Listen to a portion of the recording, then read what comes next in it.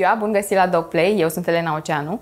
Și astăzi o să vorbim despre importanța educației sexuale în școli și despre mm, cât de utilă ar fi o astfel de disciplină în școlile din România, mai ales că recent am văzut o postare a unui uh, medic ginecolog în care atrăgea atenția asupra pericolului cancerului de col uterin care se, care, uh, se dezvoltă în majoritatea cazurilor din cauza unui virus, virus care se transmite prin contact sexual. Alături de mine se află Beatrice Năchescu, psihoterapeut și fondator Viața la Prezent și Virgil Munteanu, director la editura Evenimentul Bună. și Capital. Bună! Bună, Elena. Din nou! Mulțumesc pentru, pentru invitație și bun regăsit tuturor la o discuție între prieteni. Exact, exact, cu drag. Ce, nu știu, ce spui, Beatriz, despre postarea respectivă? Uh, aș vrea totuși să apară cumva și pe ecran, poate ne ajută colegul nostru, pentru că mie personal mi s-a părut destul de dură totuși postarea respectivă a medicului uh, ginecolog, însă bănuiesc că um, doar așa ar putea atrage atenția asupra pericolului real Așa este, un pericol real. Eu personal o cunosc pe, pe doamna doctor, este medicul la care eu merg și am o mare încredere în dumnea ei. Este un foarte bun profesionist. Uh, și cei drept uneori e nevoie, ca să putem să conștientizăm în profunzime mesajul, e nevoie de un ton mai ferm, în condițiile în care de cele mai multe ori auzim la tineri uh, e ok, înțeleg, dar mie nu mi se întâmplă sau nu mi se va întâmpla. Și atunci, uh, iată, pot să înțeleg de, ace- de ce acest mesaj dur și pot să înțeleg de ce uneori e nevoie de, de educația sexuală. Că, pentru că, până la urmă, educația sexuală ar trebui să înceapă de acasă. Uh, știm foarte bine că copiii noștri sunt destul de precoci. Generația actuală este, este o generație precoce uh, și sunt foarte curioși. Curioși în legătură cu orice și cu IT-ul și cu matematica, dar inclusiv cu, cu aspectele de, care țin de, de sexualitate. Și atunci iată de ce acest mesaj și uh, cred pe bună dreptate că este un ton corect, astfel încât uh, ar trebui să ne gândim la, la profunzimea acestui mesaj și nu uh, n-ar trebui să lezeze pe nimeni acest, uh, acest lucru. Aș vrea să și citim mesajul. Sună așa. Dacă până la vârsta de 23 de ani aveți deja 17 parteneri sexuali, vă rog să nu mai fiți contrariate atunci când vă iese Papa Nicolaul modificat și 5 tulpini de HPV cu risc oncogen. Cancerul de col nu este doar al mamelor și mătușilor sau bunicilor. Cancerul de col poate fi și al fetelor tinere. Mă apucă furia cu copilele astea inconștiente, spune doamna doctor. Da, pentru că să fim sinceri, uh, am, am informații destul de, de serioase vis-a-vis de faptul că în ziua de astăzi, în liceu, uh, dacă înainte existau alte, alte metode de a ieși în față și avea un alt etalon, uh, sexul, din păcate, a devenit un etalon și nu în sens pozitiv, ci mai degrabă neînțeles, în sensul în care cu cât ai mai mulți parteneri, cu atât ești văzut mai bine și mai agreat în acele cercuri de elită ale liceenilor. E, și de aici pornește discuția. Căci Într-adevăr. sexul, da, nu trebuie făcut în orice condiții, trebuie să, să-l facem în condiții cât se poate de serioase, să înțelegem până la urmă funcția lui, pentru că două mari funcții are sexul. Funcția de procreere și funcția de intimitate. Și de intimitate trebuie să ne gândim inclusiv la manifestarea iubirii. Adică în momentul în care eu mă apropii de cineva, lasă să mă atingă, eu îl ating, deja acele două persoane, iată, sunt suficient de, de încrezătoare sau ar trebui să fie, da, să se cunoască, să aibă încredere unul în altul, să se protejeze și nu doar să, să mă simt eu bine și nu pasă de, de celălalt. Beatrice, uite, eu ca bărbat, de exemplu, știu foarte mulți prieteni de-ai mei cei amici care rezolvă problema asta mult mai simplu, du-te și vorbește cu maică ta. În general, bărbații cam nu evită subiectul. Dar uh, ar fi cam de la ce vârstă, să spunem, ar trebui ca părinte să-ți asumi să începi să faci o educație sexuală copilului, ținând cont că sub o formă sau alta, da, în ziua de azi, la un an și ceva, deja ei se joacă cu calculatoarele și tu să deschide diverse aplicații. Tu, unde, unde, unde ai vedea momentul în care ar trebui să-ți asumi că nu mai vine barzda, că n-am venit de undeva de nu știu unde, sau de bombonele sau alte astfel de lucruri. La noi faza cu barza a fost până la vârste mai înaintate. Așa. Că părintele ar trebui să simtă copilul. În momentul în care copilul începe să pună întrebări, atunci el trebuie să fie pregătit. Și chiar și așa, de multe ori, te, copiii te au pe nepregătite, în condițiile în care chiar îți pun niște întrebări puh, super uh, serioase. Da, pentru că eu am auzit în cercul a micilor mei, într-adevăr, foarte multe întrebări dificile, trezându-se neștiind neapărat de unde le-au luat, sigur, din zona de comunitate în care copiii se învârt, dar care, într-adevăr, n-au știut ce să facă, ți-am zis, bărbații au scot, o rezolvă mai repede, du-te vorbește cu mama. Greu vine la mamă, de fapt, ce faci? Greu vine la mamă și nu vine la mama, că mama trebuie să fie pregătită. Asta, de asta uh, ar trebui să înțelege până la urmă, pentru că, așa cum spuneam, educația sexuală începe de acasă. Mai târziu, într-adevăr, se poate face și în școală sau poți să participi la anumite cursuri atunci când uh, interesul este mai mare sau când vrei pur și simplu să începi viața sexuală. Uh, mama, până la urmă, ar trebui să se gândească că vrea binele copilului. Și binele copilului înseamnă, ok, uh, vin în întâmpinarea ta cu informațiile de care tu ai nevoie. Uh, pentru că dacă eu nu vin, asta trebuie să înțeleagă mama, de fapt. Eu dacă nu vin în întâmpinarea copilului meu, el oricum o să-și ia informația. Nu de la mine, dar o să-și ia de la prieteni, o să-și ia de pe internet, o să-și ia, da, din orice uh, alt uh, uh, eveniment exterior. Și dacă nu este corectă, eu personal, da, știu un caz super funny, da. În condițiile în care fetițele mm, de mici, da, din clasa primară, discutau ele cum se fac copiii uh, și una dintre ea, nefiind uh, informată corect, le-a spus tuturor și le-a învățat și pe fetițe, copiii se fac dacă totuși limbajul n-a fost atât, dar eu o să-l trag, dacă trebuie să faci și sex oral la, la partener. Da?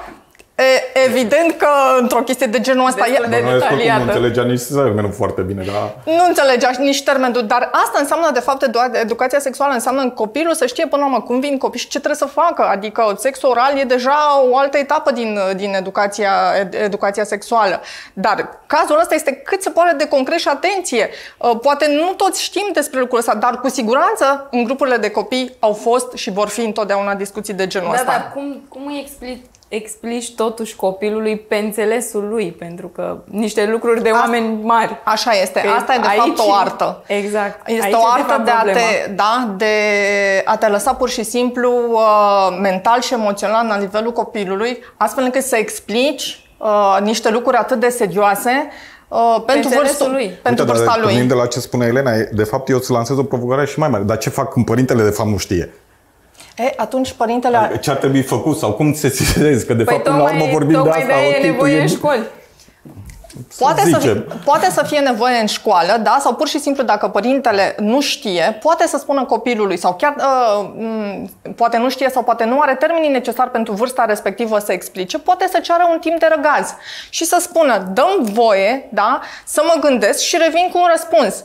El nu trebuie neapărat să răspundă neapărat atunci pe loc, că s-ar putea ca răspunsul respectiv să nu îl avantajeze pe, pe copil, dar în momentul în care părintele se gândește sau chiar nu știe în cazul ăsta, el are posibilitatea să se informeze din surse da, ă, medicale corecte. Astfel încât nu se va duce la copil să-i spună da, da, da, colegii tăi au avut dreptate. Asta se întâmplă în mod ideal, dar cred că de multe ori sunt situații în care părintele îi spune, de rog, nu mai spune cuvântul ăsta, e rușinos, nu mai, hai, nu mai zice cuvântul ăsta, nu mai vorbi despre asta.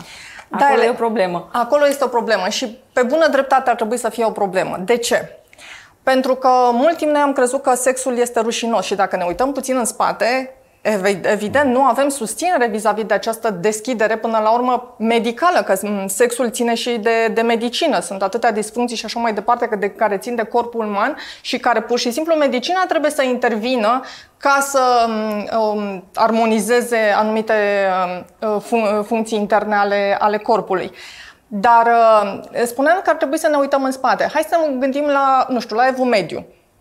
Păi în evul mediu, noi am stat doar pe extreme mult, da? Evul mediu în care spunea așa, toată lumea, aproape toată lumea era bisexuală, iar uh, mariajul era pentru uh, procreere, exclusiv pentru procreere, da? Și, uh, nu, vorbesc de Grecia Antică, uh-huh. mă mhm. scuzi, Grecia Antică și vine Evul Mediu care spune uh, sexul este un păcat, totul este tabu, uh, sexul este la fel doar pentru procreere și dacă cumva totuși simți plăcere, este un păcat. Deci iată că lucrurile n-au, nu au stat destul de bine sau deloc n-au stat, n-a stat bine în spate și atunci noi trebuie să ne apropiem, da, încet, încet, cu pași mici, uh, către calea de mijloc, către echilibru, să înțelegem până la urmă că lucrurile nu sunt chiar așa. Adică sexul nu este niciun, nicio rușine, niciun păcat, pentru că vedeți voi, așa cum spuneam, primul, lucru, prim, primul pas a făcut la 1850 în care Uh, William Acton, cam așa ceva, uh, un uh, medic ginecolog britanic, medic, un el, da, a spus uh, uh, sexul uh, și orgasmul nu, nu, nu aparține decât bărbaților. Femeile nu simt. Asta a fost prima descoperire vis-a-vis de, de, de partea sexuală și de plăcere și de orgasm. Abia mai târziu, în anii 1900, la începutul secolului 20 vorbim, vine Freud și spune în felul următor.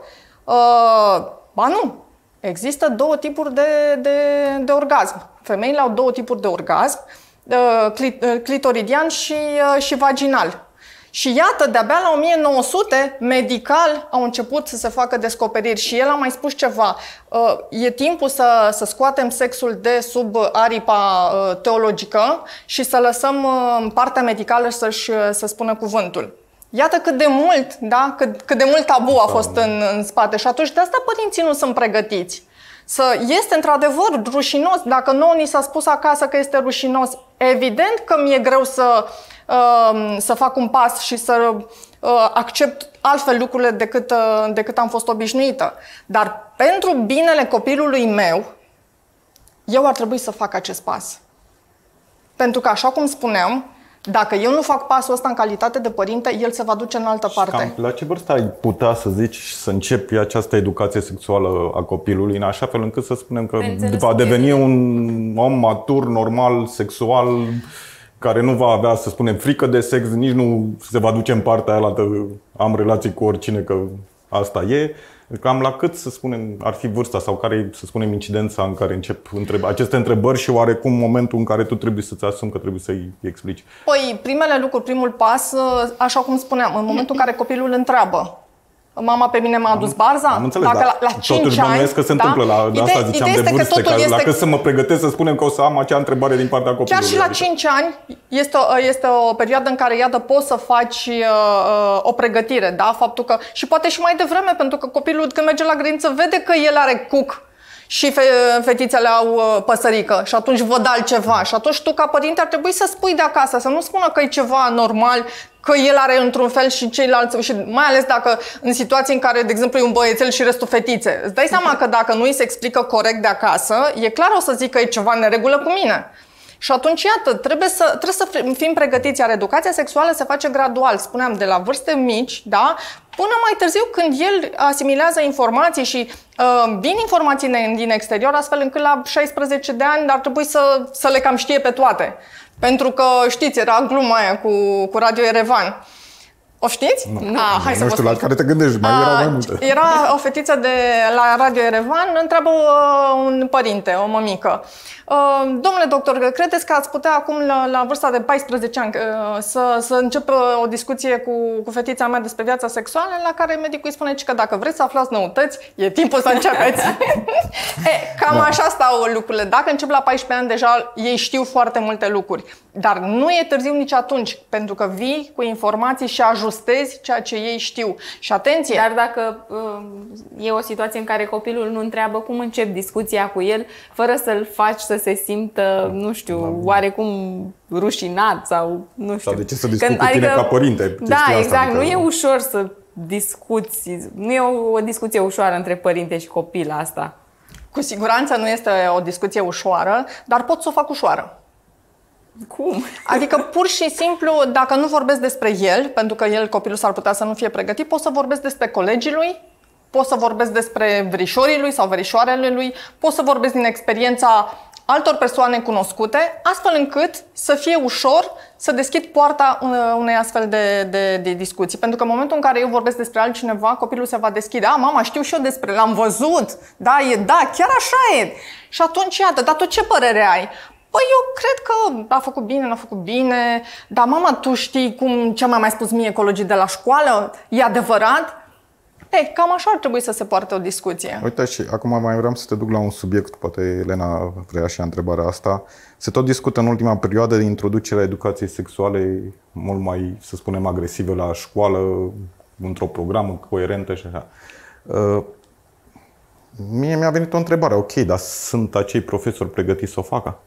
Adică cum, cum am rezolvat Adică cine ar trebui să o predea? Până la urmă, Probabil ok. un psiholog ar trebui să o Păi nu, că avem și experiența cu religia. Până la urmă, ok, faci în școală religia ca știință sau faci religia ca dogmă. Adică și aici cine va face până la urmă acea educație sexuală și cât de bine va ști acea persoană să fie pregătită în așa fel încât să răspundă unor provocări ale copiilor, pentru că în clasă sunt vreo 30, adică 20-30 în fine.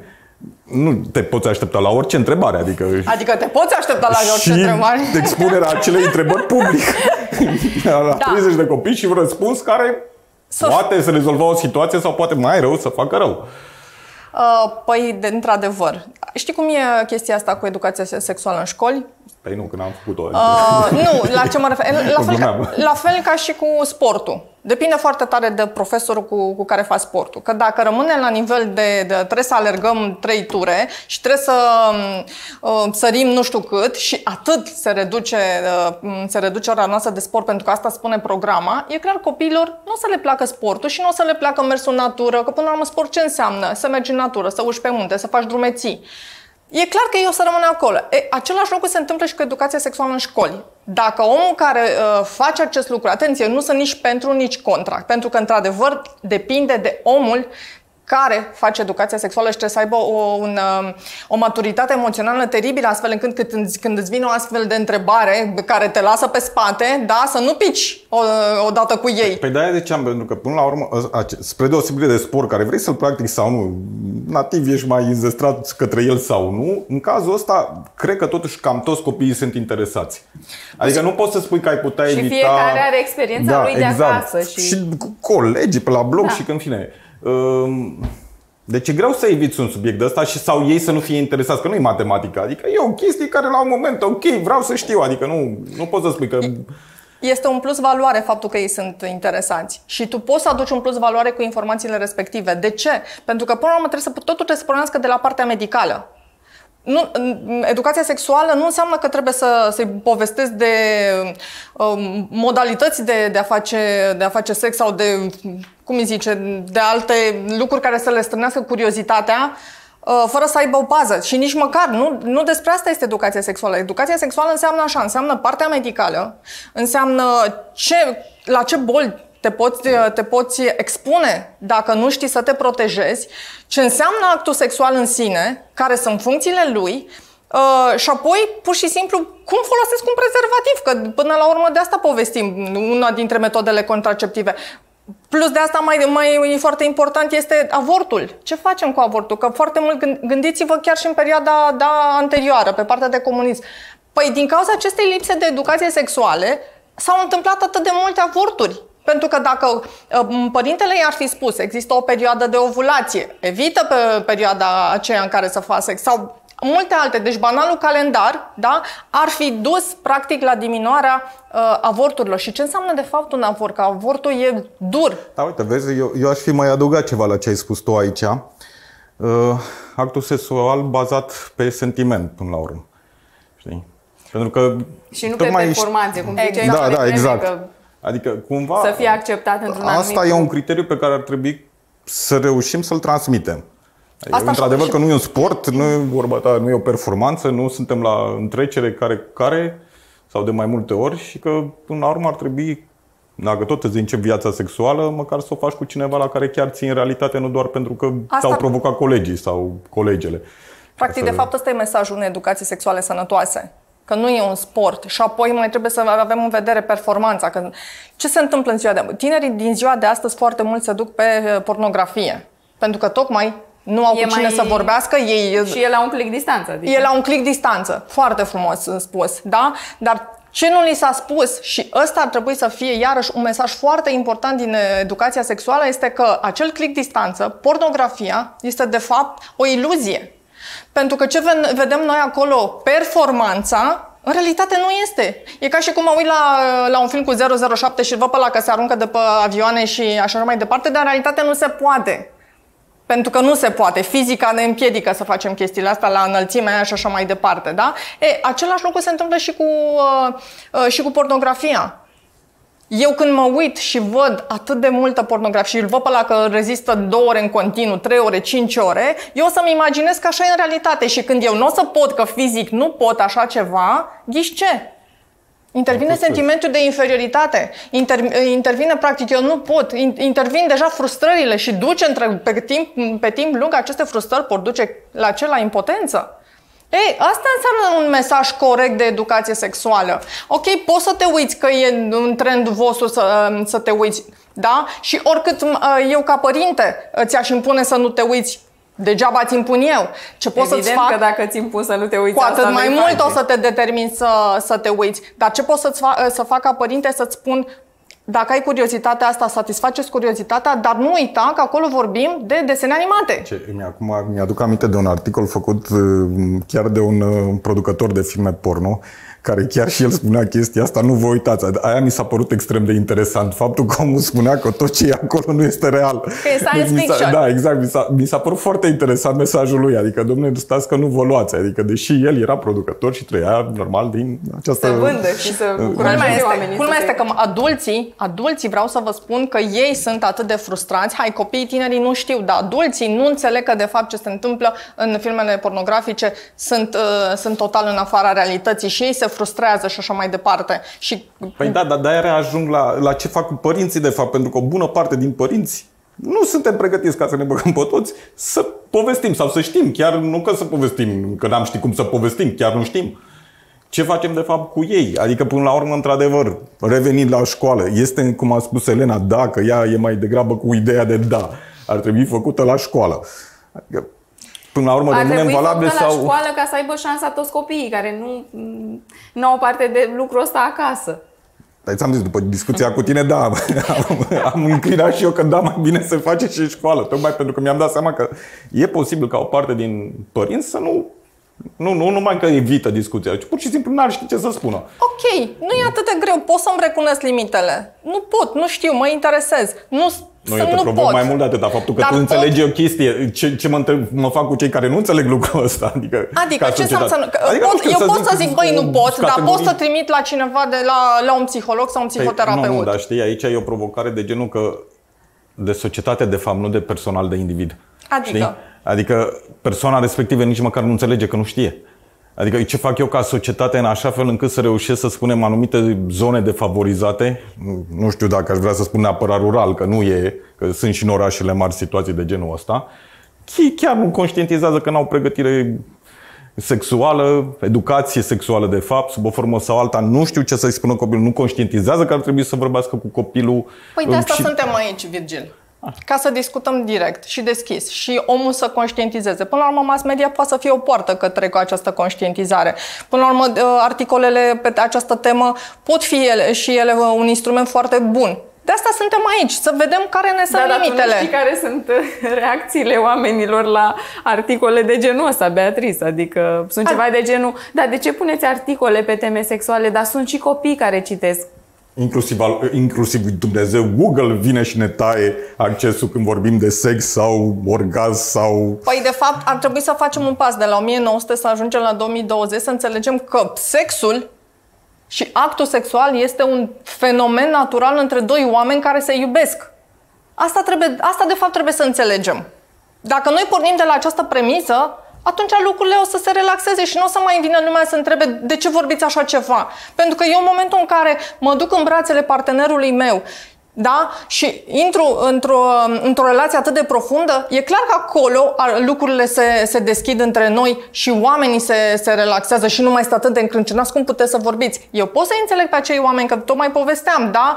Uh, și, uh, și istoria noastră, practic, din, din spate ne, ne-a împins să fim aici. Dar pe de altă parte trebuie să fim suficient de deschiși încât să facem un efort, noi ca părinți, ca bunici, pentru binele copiilor noștri.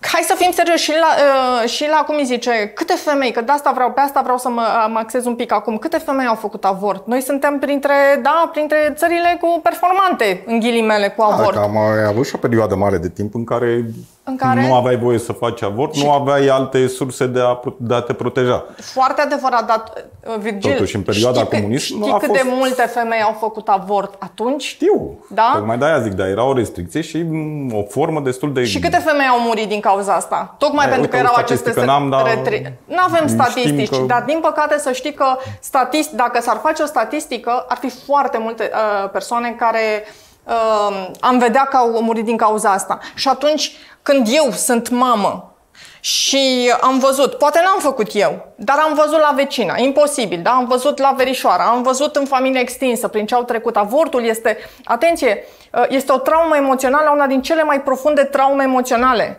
Dacă avem impresia că trecem mai departe, este doar o iluzie. Pentru că ce se întâmplă în interiorul nostru? Nu doar că atentăm la viața acelui copil, da? care are viață în pântecele mamei, da? atentăm împotriva noastră, este o agresiune împotriva femeii, împotriva funcției materne. Practic, eu ce fac? Eu mă agresez pe mine în ceea ce sunt eu în esența mea. Eu rup bucăți din mine în momentul ăla. Eu nu o să mai fiu niciodată la fel când fac un avort.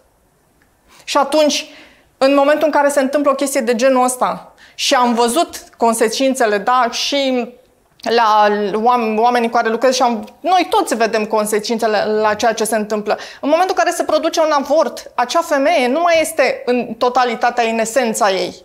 Mai mult decât atât, dacă uh, se va observa că ea nu o să aibă o relație ok, ori cu partenerul, ori cu copiii ceilalți. Nu pentru că nu ar vrea, ci pentru că nu mai poate, pentru că ea a lăsat undeva o bucățică pe drum. Și atunci noi asta trebuie să înțelegem din această experiență a femeilor care au suferit atât de mult, atunci să vin să spun eu pot să fac un pas pentru binele copiilor mei. Și băiat și fată. Pentru că dacă am băiat îi spun uite ce se poate întâmpla, dacă am fată la fel îi spun uite ce se poate întâmpla. Și atunci, da, pot să înțeleg că nu, nu știu să vorbesc despre lucrurile astea, dar pot să văd și ce s-a întâmplat în jurul meu. Și pot să fac un, un mic pas ca să-i fie bine copilului meu.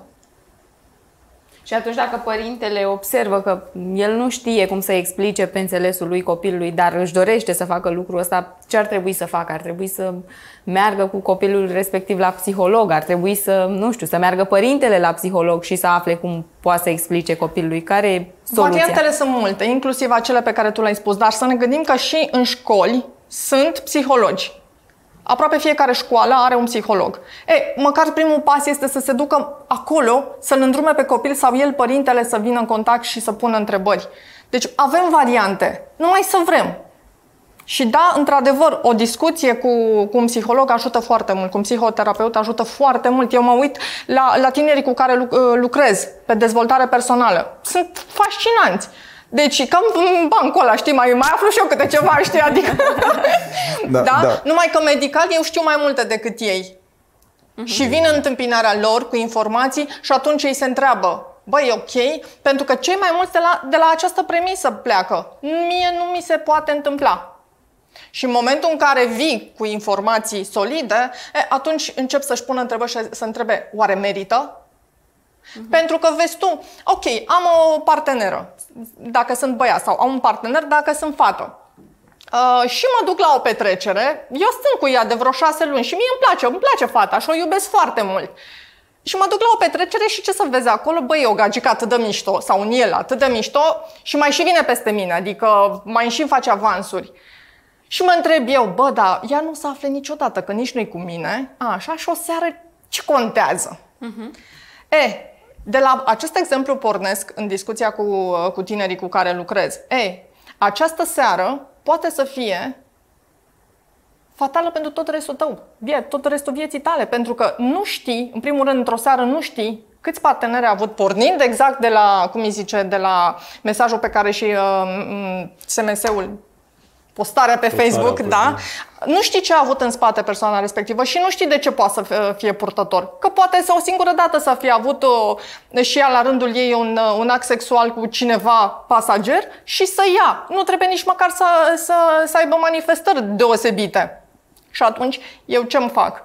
mă întreb, merită? Că s-ar putea să mă, să mă coste mult pentru tot restul vieții, partenera mea să nu aibă posibilitatea să facă copii sau eu, da, femeie fiind, să nu mai pot să fac copii. Că de fapt unul din cele mai importante lucruri, da, asta este, asta e consecința unui astfel de, de HPV sau de, col, de cancer pe col uterin. Să nu pot să fac copii.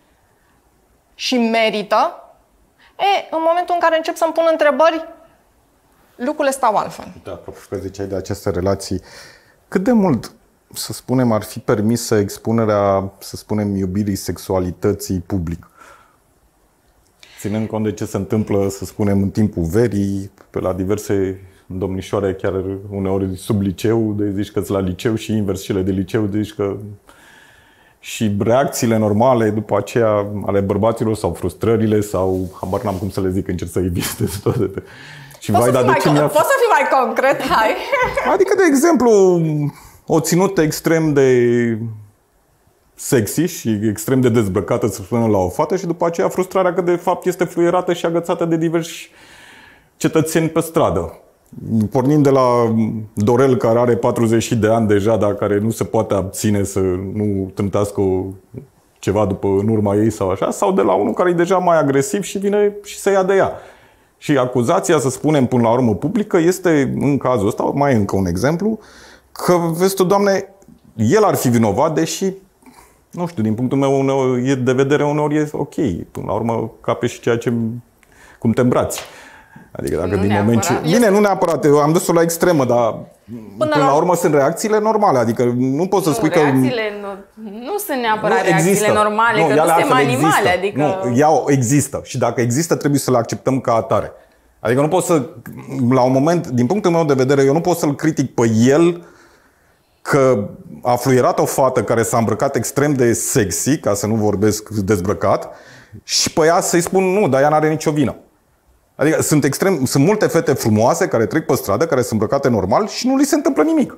Acum nu trebuie să păi nu, ne îmbrăcăm dus, ca niște călugărițe, că unii zis, nu se pot abține normal. să fluiere. Nu, am adică, zis îmbrăcate normal, Elena, da? Deci am zis normal, nu am okay, zis adică dezbrăcate. Te, da, nu, ideea e că poți admira o fată care e îmbrăcată sexy, cum zici tu, fără să ai vreo reacție de genul să fluieri să, sau să-i mai spui cine știe ce. Am înțeles, dar repet, lucrurile se întâmplă. Ce facem? Păi facem adică faptul că urmă... nu trebuie, da, e o declarație, ar fi un facem ideal. Ce facem? Facem în felul următor, Virgil. Uh, acum depinde ce înseamnă pentru, pentru fiecare dintre noi sexy. Că dacă într-adevăr uh, sunt decoltată de aici și uh, deasupra fundului până aici, într-adevăr trebuie să-mi asum în momentul nu, ăla... fundul nu e acoperit, adică... Ok. Trebuie să-mi asum în acel moment eu ca femeie, ca fată, ca adolescentă, ca tânără, că voi stârni da, apetitul sexual al bărbaților. Pentru că până la urmă bărbații au o, o doză da, și mai, hormoni mult mai, mai puternici decât... De asta și nevoia de, de sex e mai puternică la, la bărbați. Și este o chestie cât se poate de medicală vorbind.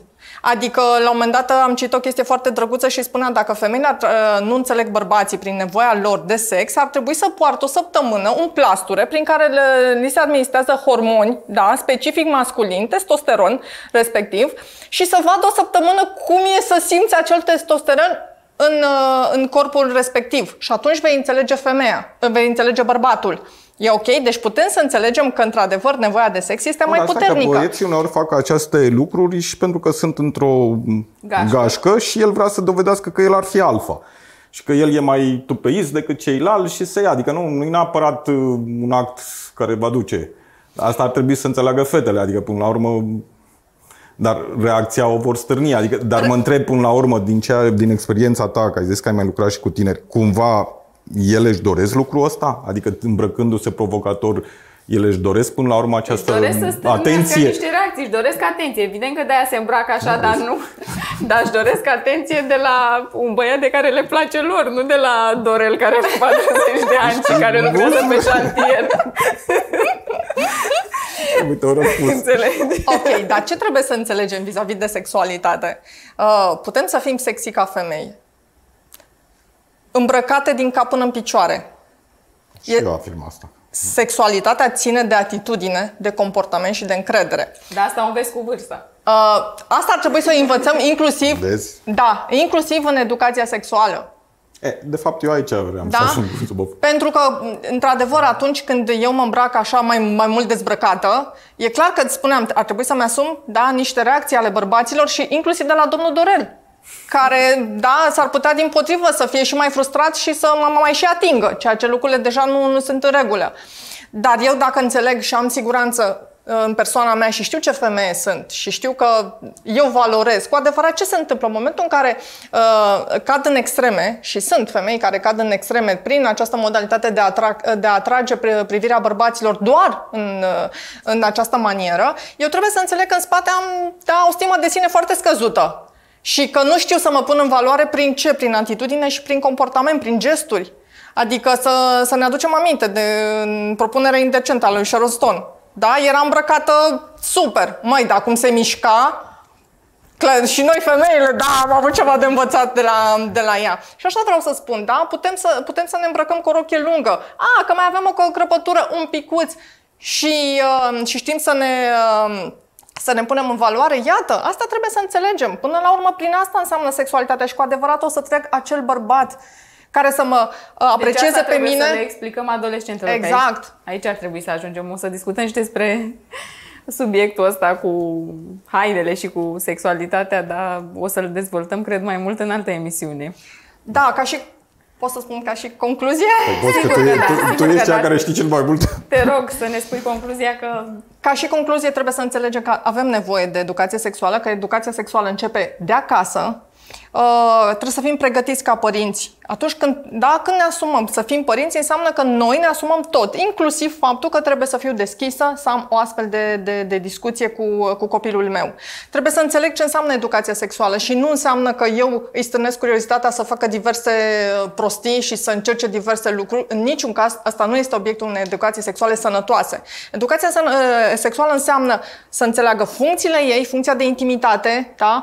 Uh, funcția de procreere și unde poate duce, uh, lucrurile care, consecințele negative vis-a-vis de boli, sunt atât de mulți, sunt peste 50 de boli cu transmitere sexuală. Noi n-am vorbit decât uh, de câteva acum, dar cu, cu adevărat lucrurile sunt foarte serioase pe partea de medicală. Și atunci Evident că în momentul în care eu îmi propun să fac această educație sexuală cu copilul meu, să-i povestesc și despre ce înseamnă da, asumarea unor consecințe pe termen lung vis-a-vis de, de boli, adică protecția, ce înseamnă protecția. Nu mă duc cu oricine, nu o cunosc, o văd o seară, vai ce bine arată și poate mai avut 50 de parteneri înainte și ghiși ce mai îmi dă și uh, un cadou, da, care mă poate costa toată viața. Asta înseamnă educație sexuală și asta recomand să se facă ca și educație sexuală și dacă se va face vreodată în școli, să fie într-adevăr corectă. Și în niciun caz să, să strânească curiozități, să zică, ia, ne duce și noi un pic pe, uh, pe un film pornografic, să vedem ce se mai întâmplă acolo, că spuneam, iată, pe termen lung, uh, duc la, la astfel de, de rezultate ne, negative. foarte frumos spus. Mulțumesc, Beatriz, mulțumesc, Virgil. Mulțumim și noi. Ne să mai fi vedem și în înțeles ce alte am vrut să emisiuni. transmitem, dacă nu mai vorbim.